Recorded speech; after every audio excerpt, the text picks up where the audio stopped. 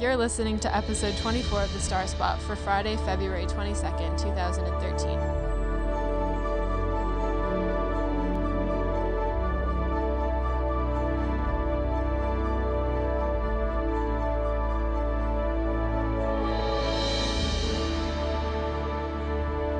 I'm Justin Trottier, and I'll be your host of The Star Spot.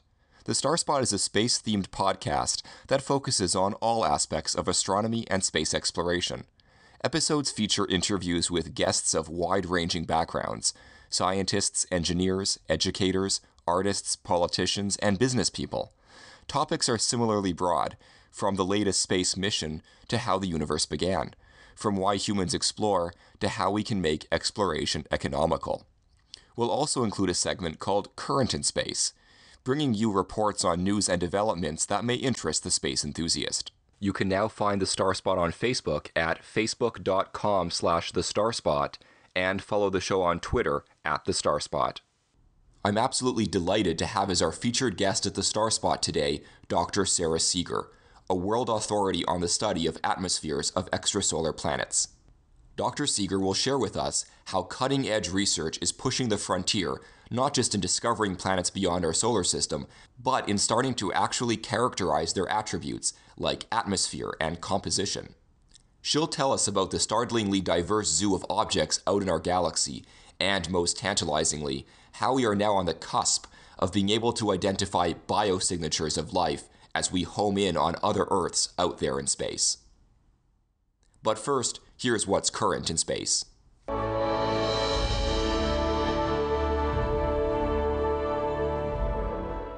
One of the biggest world events dealing with space happened last Friday morning when a meteor shot across the sky in Russia, traveling over the Ural Mountains and leaving a trail of destruction in its wake before crashing into Chebarkul Lake.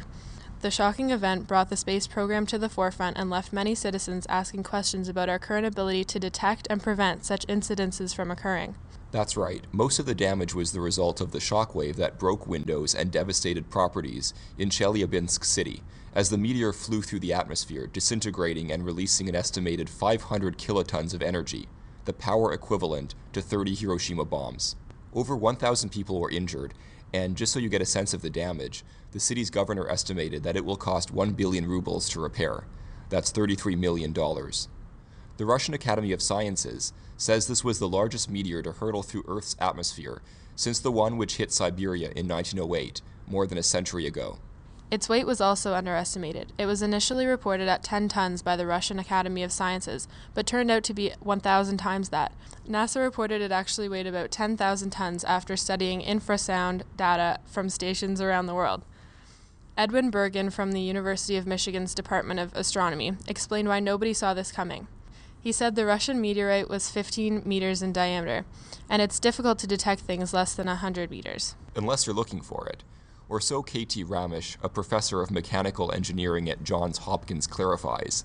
He says that while NASA's Near Earth Object Program currently tracks about 10,000 objects, there are many smaller ones just too tiny to track.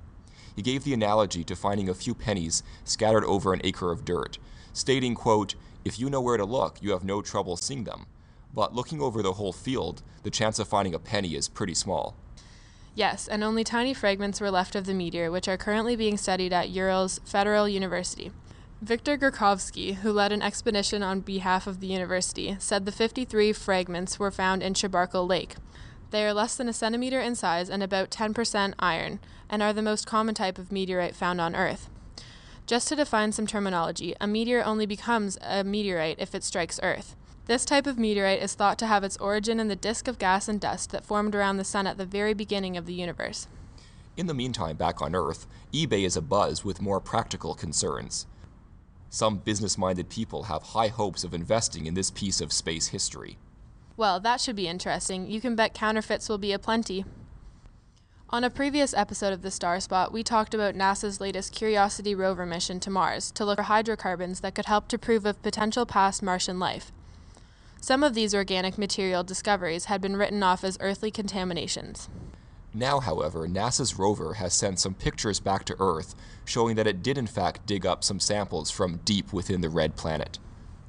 Curiosity ended up drilling six and a half centimeters into the Martian crust on February 8th and by February 20th had provided scientists with the first images of its findings. Curiosity's collection of powdered rock extracted by its robotic drill will be transferred to an analytical instrument on the robot's body. There, they will be examined to find out more about the substance and whether it shows evidence that water could have been present nearby. This story is history in the making. Curiosity is the first robot to collect samples from rocks drilled on Mars. An extremely rare occurrence, no rover has ever drilled into any surface off of planet Earth. No other robot that has landed on the red planet has been able to provide evidence of whether the area has ever been able to support microbial life. Curiosity can do all of this with a little help from its 10 scientific instruments and 17 cameras, as well as a hammering drill. Drilling deep into the Martian ground in turn takes scientists back three or four billion years in time, providing information about what the characteristics of Mars would have been like back then.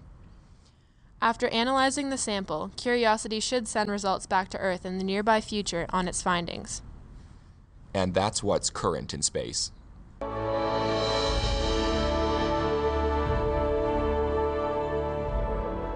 On January 25th of this year, the Astronomy and Space Exploration Society, based out of the University of Toronto, hosted its 10th annual Expanding Canada's Frontier Symposium, a series that has become a fixture in the city for celebrating achievements in astronomy and space sciences and engineering.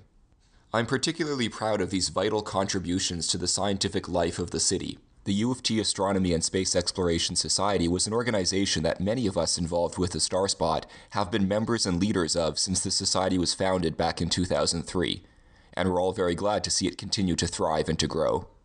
But enough with the personal celebratory aside. This 10th event in the series was a real landmark, focused on the search for life beyond Earth.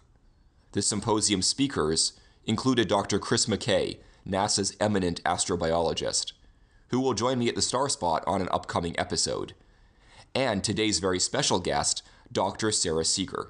Dr. Seager, who is herself from Toronto, Canada, is currently professor of astronomy at the Massachusetts Institute of Technology and a world authority on the study of atmospheres on extrasolar planets, the subject of her Harvard University PhD. She is the recipient of the Helen B. Warner Prize from the American Astronomical Society, Harvard's Bart J. Bok Prize in Astronomy, and she was named to Popular Science's fifth annual Brilliant 10. Perhaps even more cool, NASA's Planet Quest has described Dr. Seager as an astronomical Indiana Jones. We're here uh, chatting with uh, Professor Sara Seager at the Star Spot. Thank you so much for joining me. I want to ask you about extrasolar planets. Uh, that's that's your specialty. But before we get into uh, atmospheres and other attributes of extrasolar planets, just give me the, the, the basics. How many extrasolar planets at this time do we have confirmed, and then how many do we have as candidates? We have hundreds and hundreds of exoplanets confirmed, nearly a thousand. And in addition to that, we know of about 2,000 more planet candidates. But honestly, that's really just the tip of the iceberg. We're finding that astronomers are finding that every star in the Milky Way galaxy should have at least one planet. Yeah, I read the uh, the statement that one of the exoplanet discoverers made that every time you look at the night sky, every time you look at a star, it likely has, or at least the average would be that it has one about one planet. It's yeah, incredible. that's right. So there are so many planets out there. So when we say 1,000 or 3,000, it sounds like a lot, but it's really tiny in the context of all the planets that we think are out there. Tell me a little bit about the diversity of the extrasolar planet zoo that we're discovering. Well, the diversity is insane. It's more diverse than anything we could have ever imagined. First, we started out with the so called hot Jupiters, planets the size and mass of Jupiter, but instead of being at Jupiter's orbit so far from their star, they are close, close, like 10 times closer than Mercury is to our sun. Then, one of the most remarkable types of planet we have, we just call them mini Neptunes, for lack of a better word. and mini Neptunes are planets that are about two to three the size of Earth. Neptune is four times the size of Earth. Right. And you know what's so fascinating about those is that we have nothing like that in our own solar system, a planet of twice the size of Earth. Hmm. And what that means actually is we do not know how they formed. We don't know how they came to be. And furthermore, Kepler and others have shown, the Kepler Space Telescope and other techniques have shown that these so called mini Neptunes are the most numerous type of planet in our galaxy. And this is different from super Earths. Yes, well, we actually do draw a line. We like to call super Earths something that we think is rocky, like a giant rock ah. that has a thin atmosphere. Whereas we think of a mini Neptune more like a planet with a massive gas envelope, such that there's no really real surface as we know it, or the surface, if it's there, it's buried under just a massive envelope of hydrogen and helium. So we do draw a line. There's kind of like a spectrum of of sizes, I suppose, of planets. There isn't like only small and only Exactly. large. There's a spectrum. Within this diversity of size and uh, rocky versus gaseous, etc., are there any limitations on what we can detect with our current technological sophistication? There are huge limitations. There are huge kind of parts of the diagram that remain dark and will so for a long time. Can you tell me a bit more about where those patches are? Well, we're pretty fixated on the patch where Earth would be. right, of course. and that's one patch that is dark. So each of the five or six different planet finding techniques have a strength. Some of them find planets close to the star, big planets close to the star. Some can find big young planets that are hot, that are extremely far from the star, like Pluto or further. And then microlensing tends to find planets somewhat in the middle. So I would say the regions we're missing are most things that are small or low mass are missing. Um, planets in an intermediate distance range from about, let's say, three to about, you know, 20 astronomical units are also missing. Your research delves not just into the discovery of extrasolar planets, but something extremely exciting, which is understanding their atmospheres. Tell me a little bit about our current technological abilities. What what can we tell about the atmosphere of an extrasolar planet with current technology? Well, right now, our current technology, first of all, it's just amazing we can study atmospheres of planets so far away at all. Mm. But we're right now even more limited than planet discovery space. With atmospheres, we can really only study big planets, and so far, most of the planets, most of the few dozen or so exoplanets whose atmospheres have been measured, have been hot Jupiters. They're planets that are 1,000 degrees Kelvin or hotter. They're bright in the infrared. And furthermore, we mostly also study transiting exoplanets, planets that go in front of their star or behind their star as seen from the telescope. So, with all those limitations in mind, we're able to do a few things. One is for some planets, we can identify major gases in the atmosphere, like water vapor or carbon monoxide or things like that, sodium. Uh, for others of them, we're able to just measure an approximate temperature of the atmosphere. That's confirming our theories that planets are heated from the outside by stars. For some of them, we're actually able to see hot spots on the planet. These hot Jupiters Wow. we think are tidally locked. That is, they show the same face to their star at all times, just like the moon does to Earth. Hmm. So they're heated tremendously, blasted on one side, and the other side remains dark in the dark all the time. And so a fundamental question has been, well, what happens on this planet? Is it really, really cold on the night side and really, really hot on the day side? Or just like, or does the heat equilibrate? And we find it kind of equilibrates, but not in all cases. Interesting. Now, j- just like we're finding this diversity in terms of planet size, in terms of where they're located, in terms of rocky versus gaseous, with atmospheres, given that our data is uh, still, you know, uh, still coming in, you know, it's still pretty limited. But do we find that there is a huge diversity there too? Well, right now we don't see a huge diversity, and that's primarily because we're studying gas giants. Their Right. gas actually it's kind of a misnomer, but for these giant planets, their gravity as well is so big, they can keep all the gases they are born with. And we think that the giant planets captured gas from the surrounding nebula, so they have like hydrogen, helium, and then carbon, oxygen, etc. We're not totally sure because our measurements aren't good enough to really say robustly what the ratios of those elements are.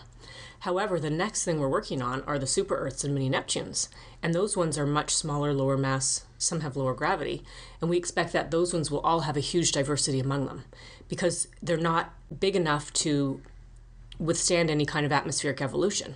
Like on our own Earth, we think we had a completely different atmosphere when Earth was born, mm-hmm. and that the light gases like hydrogen just escaped to space. Right. And then stuff came out of the surface and then changed the atmosphere. Then life came up and made the atmosphere evolve even further.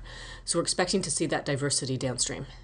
Now, you were one of the researchers that discovered the first atmosphere around an extrasolar planet. Can you tell me a little bit more about that particular discovery? Sure, yes. My role in that discovery was one of the things I still work on, and that's atmospheres of exoplanets. And we build large computer models with applied physics to try to understand what the atmosphere would be made of. Mm-hmm. In that particular case, sort of going back to the hot Jupiters versus super Earths and mini Neptunes, the question that I was asking was simply, what are the what would the what does the planet look like in terms of its spectral signature?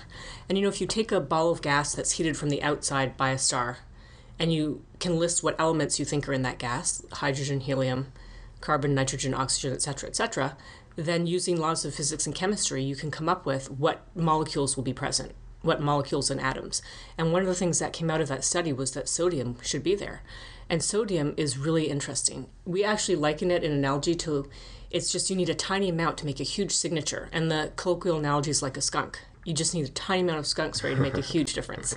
And so this planet had sodium.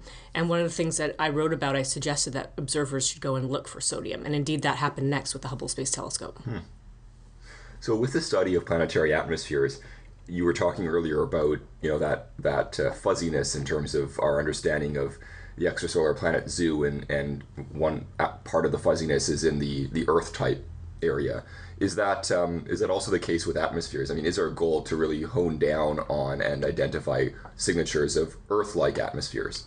Yes, absolutely. I mean, there are always more than one goal, but I would say that our driving goal is to find planets with signs of life in the atmosphere and signs of so called habitability. We definitely want to do that, but to do that, we have to have a broader toolkit. So, what we're looking for actually, well, the first thing people like to do is think of what would Earth look like from far away. Now, our own Earth has one really outstanding feature in our atmosphere, and that's oxygen and ozone. Because without life, plants and other photosynthetic life, like photosynthetic bacteria, we wouldn't have oxygen in the atmosphere. We would have like negligible amounts. Yet we have 20% by volume of our atmosphere has oxygen. So if people, if there are, if there is some kind of intelligent life looking back at us, they'll see oxygen and they'll know that that's such a reactive gas, it really shouldn't be in our atmosphere. So essentially, we're looking for gases that don't belong gases that are many orders of magnitude out of equilibrium. And that's our main task right now is to sort of evaluate or assess the menu of options for what gases could be so unusual and how to find them. And then later on, when we have the capabilities to look for them. When do you think we'll have those capabilities? When well, that's think... a great question. When you think of the atmosphere of a planet, it's really just a thin skin on top of the planet, like an onion skin on the top of an onion. So if you think about how hard it is to find planets at all, that atmosphere measurement is much harder, 100 or 1,000 times harder. Mm. So it's a huge challenge for us to, to really reach this level. But we have been studying Jupiters around sun like stars with telescopes we have now, Hubble and Spitzer. And so we believe with the next generation space telescope, the James Webb Space Telescope, we can just scale everything down. And that with the same techniques we've developed now, we can study big Earths orbiting small stars. So if everything were to work in our favor, that we find a small star that's bright enough, that we have a planet with a puffy enough atmosphere, if all of our cards are lined up properly and we get lucky with an object that is in the right place and the star is bright enough, then with the James Webb Space Telescope, with enough time on the telescope, we have a chance of detecting signs of life in a planet atmosphere. Hmm. But you know, everything has to work out mm-hmm. in that case. So if we're really lucky, we'll have something then, and that would be probably within five to ten years. I was reading some of the um, the papers that uh, that you've authored, and there was one that that uh, caught my eye. It was one that you authored with a student of yours, and it talked about uh, super Earth atmospheres and distinguishing. I think it was hydrogen rich from hydrogen poor. Can you tell me why that's an important distinction, and whether we expect to find super Earths with a specific set of possible atmospheric conditions? Yes, well, let me just say now our pendulum has swung. Before, we're like only Earth all the time, in that we didn't believe that planets so different from Earth and with very different atmospheres could sustain life. Right. Now we're thinking, well, we really want to find life. We need to open our minds because what's easier to detect is not like Earth at all. Bigger planets than Earth are easier to detect. And with the James Webb Space Telescope, in what we call transmission, when the planet is in front of the star and the starlight shines through the atmosphere, atmospheres that are hydrogen dominated are actually easier to study. It's a lighter mm. gas, it's puffier. Right. The so called scale height is bigger. And the analogy is you know how when people hike up Mount Everest, they run out of air? They say they run out of oxygen, but they're running out of air because pressure and density and the amount of air drops off exponentially. Well, that distance over which it drops off is related to the type of molecule that dominates the atmosphere. So, for a planet dominated with hydrogen, it's a very, very light element compared to nitrogen in our atmosphere, and that so called scale height is much bigger. So, what it means essentially is the atmosphere is much puffier, much bigger. Oh, interesting. So, we like hydrogen rich atmospheres. We want them to be able to have life. Um, that would be a very different kind of atmosphere than Earth. So, distinguishing between them is really important because our Earth has no hydrogen in the atmosphere to speak of. And so we want to know um, do some of these super Earths have hydrogen because it's going to make it easier for us to find life? Now, that's my interest. Other people just want to know because as we were talking about the spectrum or the continuity of different types of planets, hydrogen being in the atmosphere or not, it's a really big thing. Okay, so we know we know oxygen is um, is a sign of is a sign of life. Um, what are other biosignatures of life? That is a good question. You know, on Earth, would you believe there are thousands and thousands of chemicals produced by life? Just like when you walk in a forest and you smell all the different smells, each of those is potentially a biosignature. Right. But most gases produced by life are either produced in such small amounts that they, they're very specialized. They won't accumulate to levels that are detectable.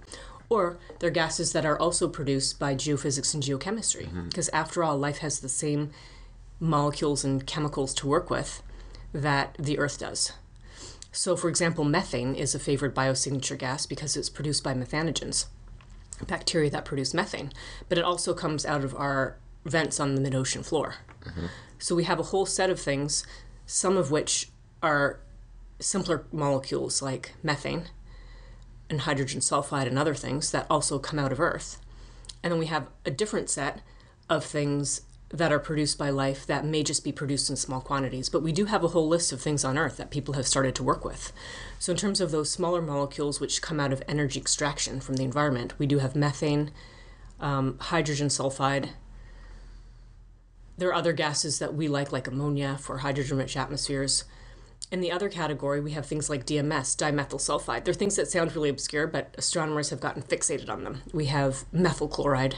And so there's a list of things produced by bacteria that we have. But at the end of the day, are we really smart enough? Are we really smarter than nature and really able to come up with this sort of great list of gases? You know, I don't think so.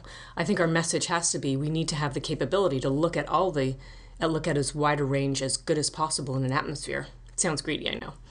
And then be able to understand what's there identify the molecules we expect to be there and then be able to uh, find things that are that don't belong and then identify those molecules and work from there If some of the signatures of life, maybe not oxygen, but some of these other ones are are more obscure in the sense that they're they're less prevalent in our atmosphere. If they're prevalent to about the same degree in, in the atmosphere of an of an extrasolar planet, would we be able to detect them?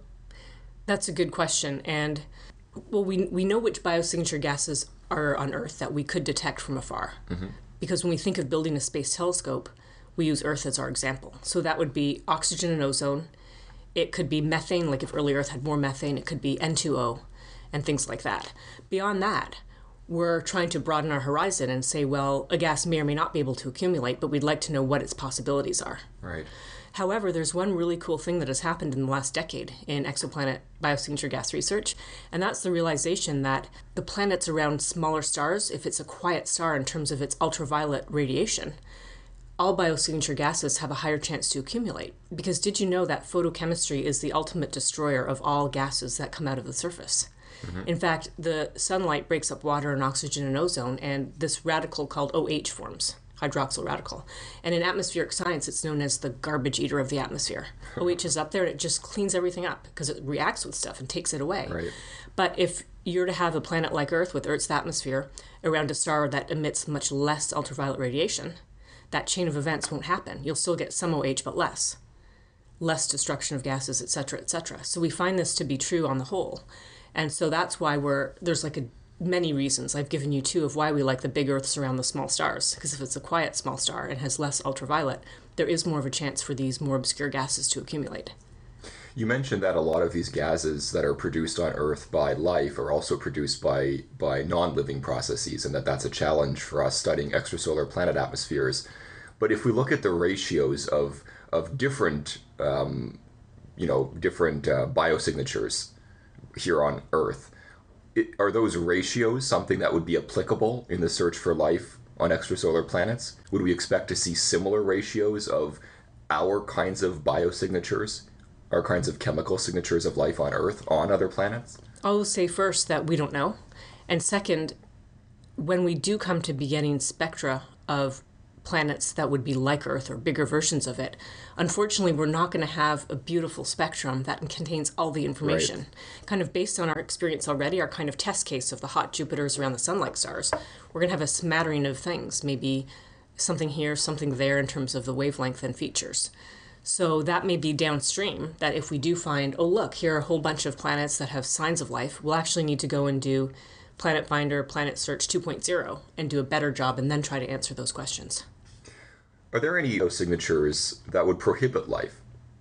That would more or less categorically rule out the possibility of life being on a planet? It's not clear if there's any signs like that. People have thought of it, but not too deeply. Tell me more about the the equipment and the technology that we're using to make these kinds of analyses. I know that obviously telescopes are involved, but then also computation, right? Uh, computer analysis and simulations are also play a, play a part. Can you explain how that process works? Well, when we take data with the telescope, typically there's a lot. It's like taking a picture, imagine taking a picture with your camera, but now you have to go in Photoshop. And I don't mean Photoshop to introduce new things, but Photoshop to take away bad things like red eye flash and things like that. Right.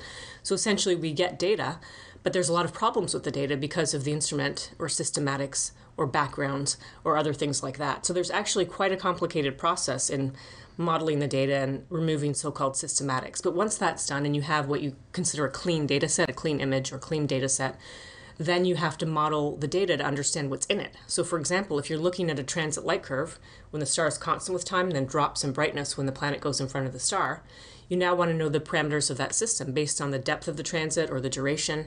What does it tell you about the planet size and the planet orbit? So then you use physical models, models of a physical system, and fit the data and try to come up with something.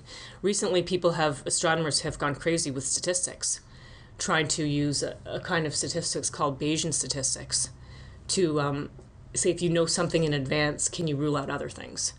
And so that ends up happening as well.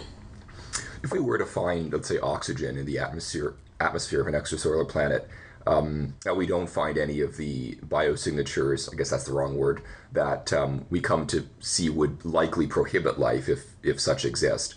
Um, how would, would would the headlines declare life's been discovered? Would would merely finding oxygen or another you know, uh, clear case on Earth of a biosignature, would, would that be enough for us to know that life is there? Or with the universe being so mysterious, could we fathom other possibilities for how even oxygen could get onto an extrasolar planet? Great question. And this is the kind of thing that we worry a lot about. The question is after a lifetime of work of many people, when we find finally find oxygen or gas that doesn't belong, are we going to be able to come to you and say unequivocally, yes, we have found signs of life? Or will we say, well, in this case, it's 99%. Right. Exactly. 99% is not that high. Mm. For like, would you go in an airplane if you had 99% chance of one out of 100 would, would crash? Or would we say, you know, in this case, it's only 50 50? And so, actually, what I really see happening is that at the end of the day, we're going to come to you and go, you know what? Life is everywhere because we see 100 planets, half of them have quite a sure sign of life, the other half have a kind of sign of life. But it's really unlikely to me that we'll be so unequivocally sure that we will be able to just, you know, bet our life on it. Now, that said, we could still be 99% sure. And indeed, even with oxygen, astronomers are busy evaluating what are the cases where you could have oxygen that's not produced by life. And typically, we could rule in or rule out other situations, just like what you said before, by the rest of the spectrum. So, for example, at some point we think Venus had oceans and that the oceans boiled off. And when they boiled off, water vapor would have filled the atmosphere and water vapor got split up by sunlight. With the hydrogen, the light gas escaping to space, and oxygen would have built up for a while. So, in that case, with a lot of oxygen, you'd also have a huge amount of water vapor in that runaway greenhouse effect. So, we can kind of think of different scenarios, but we require a great spectrum that fills in all the areas. So, we think we can rule them out, but again, it goes back to are we, is nature smarter than we are, or are we? So, we'll see. So do you guys have SETI on standby? So if we are, you know, 99% sure that a planet has life, you know, turn the telescope, see what kind of life, if it's communicating life? Well, what's interesting is SETI has kind of always been its, its, own, its own world. Yeah. But SETI is still working in parallel, and they're actually already doing this kind of thing. Mm-hmm. So in the Kepler field of stars, Kepler has many stars with Earth-sized planets, not all in the habitable zone or anything like that. But yes, SETI is definitely going to be following up I think the more interesting question is if we see one of those, should we be sending a signal to it? Should we be trying to communicate ourselves rather than just listen? No, you also study the interior of planets, which we haven't really gotten to. But I guess the obviously the interior and the atmosphere, they they affect each other, right, right. in pretty intimate ways. How exactly does that work? Well, I would say the first thing that first way interiors are relevant is we want to know if we're dealing with a rocky world or a world that's made mostly of hydrogen and helium. Because if the planet is a big ball of hydrogen and helium, it will have no surface as we know it. Or a planet buried under a massive atmosphere, the surface will have temperatures that are too high for complex molecules for life. So first we just want to know about that. The other question is how do we relate the interior to the atmosphere? That is ongoing research, and we're honestly not even sure if there will be any real observables that connect the atmosphere and interior. Are there uh, expectations that the interiors of the planets, whether they be a rocky planet like the the, the four rocky planets in our solar system or a gas, a gas giant like the gas giants in our solar system, that the interiors will will be similar to the interiors of, of the rocky planets or gaseous planets we're familiar with? Well, you know, there's two ways to do science. One is to sort of build upon things you know, and another one is to say, I'm open to what the universe tells me. And we're kind of stuck both ways here because what we have in our solar system could be like others, or there's other possibilities, but the observations are so limiting that we can't really just use that open book kind of method. There are some ideas. I mean, some people think that some planets may be carbon rich, that if they form in a very unique environment where carbon is more abundant than oxygen, that instead of getting like rocky material made out of silicon oxides, you get actually silicon carbides, and that the interiors could be somewhat different. But on the whole, if you think about the main types of planetary of material that planets can form from, there's not a whole lot of options. And then you have gravity and pressure. And so there's not an infinite variety. But there are certain key things, and I'll just mention one of interest. And we're really interested in new things, and we like the concept of water worlds, planets that we imagine are made of 50% by more of water. And these would be like scaled up versions of Jupiter's icy moons. Just in our last couple of minutes, because I know you're about to, to head to the uh, to the airport, um, because I'm also interested. The show's also interested in sort of popular understandings of science and astronomy. I think I caught you on some episodes of Ancient Aliens. Was that you? Right, that was yeah. definitely me. Tell me um, sort of what led to to that invitation to have to have you on the show. Well, um, I'll say one thing that I am fascinated with people's fascination with aliens, and you would not believe how many people here on this earth believe that aliens have visited Earth. Now, when the show started, it was to be just a one episode. Half of the people were opposed, half of the people would be for the what, theory. Was this to be one episode, not a whole Originally, series? it was okay. just one episode. They just filmed one episode, interviewing half of the people, also interviewing half people who were opposed to the theory that ancient aliens had visited Earth and helped us get started with pyramids and other big structures. And the other half of the people were to believe in it. And they really did film half because I saw some of the other people being filmed mm. and I talked at length with the people making the show. So when the one episode came out, guess what? 98% people for, 2% against. And in the comments against was really interesting because wow. they had taken the against comments um, and clipped them so it looked like even the, some of the against people were for. Now, what else was really interesting to me from a sociological viewpoint was the people who are for were so exuberant and charming and outgoing. And I think the people against were kind of more wooden. And I think that was partly how the choice was made. Then the show took off like the producers had no idea would have ever happened. And then it grew into a series where now it's happened like every year for like four years. And it's been watched by probably hun- at least tens of millions of people, probably more, all around the world. And I know this because people write to me. And I'm barely on the show at all. And I still get a ton of people writing to me from this. So I started going on the show, and after a while, I realized what was happening that my statements were getting chopped to look like I believed, usually. Sometimes I get to be the voice of reason. And so after a while, I kind of decided I probably can't be on the show anymore. Mm-hmm. But before I made that decision, I tried one more time. Um, I'll give you an example. That they, I'd say, well, um, astronomers know about Lagrange points that are kind of like balance points, where you could a spacecraft could stay, and it wouldn't necessarily they're kind of unstable but big picture it wouldn't take a lot of effort to stay there mm-hmm. But we know they're none there. And that second part but we know they're none there would be cut off. And they'd go oh astronomers believe that there are spacecraft. And then there i would wow. be saying that we have a theory we understand the gravity. So then i would say everything in one breath. Blah blah blah blah blah blah. And they still would chop it up so it's like I just can't be on this. But I wish that they would include more people who didn't believe because it's a theory that we're all fascinated with, all the crazy things that we see around us that are unexplained. And if they could have people saying, well, it's okay that things are unexplained, we'll try to explain them later, they may live in the category of not explainable. I wish they could have more voice of reason in addition to just showing people all these cool things out there. So when they invited you on, when the initial premise of the show was described, did they sell it as a fair and balanced, whatever they might mean by that, approach to this topic? They did sell it that way, and I believe the original writers intended that. I, I have no reason to believe that they were misleading. I mean, they were really genuine. They were genuinely interested. And just from all the questions that I was asked, because, you know, they'll interview people for a few hours and then you'll end up on for a few minutes there, a few minutes there. Of course, yeah. It was really quite, my first interview was just really an amazing experience because the original interviewer and people making the show uh, really had a great intention. And we talked about a lot of things, like about how the ancient people studied the stars. They were always out there, always around. And here we don't really see them anymore if we live in a city or we're busy with our computer.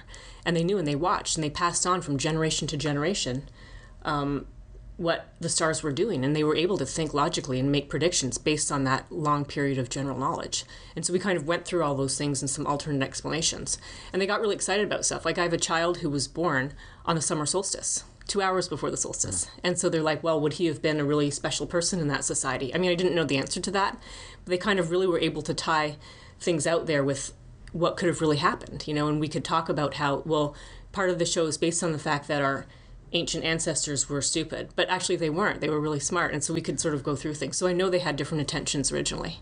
Getting people interested and excited about astronomy and ancient civilizations is, of course, a very worthy goal. But um, given that you've done, you know, presentations in the public interest of science and all of that, how do you think we can best sort of harness people's inherent interest to an extent in questions of astronomy or or ancient aliens and all of that to better inform the public about the truth behind some of these claims or just science in general. It's really tough because those of us who are on the side of logic and reason, we're just busy working.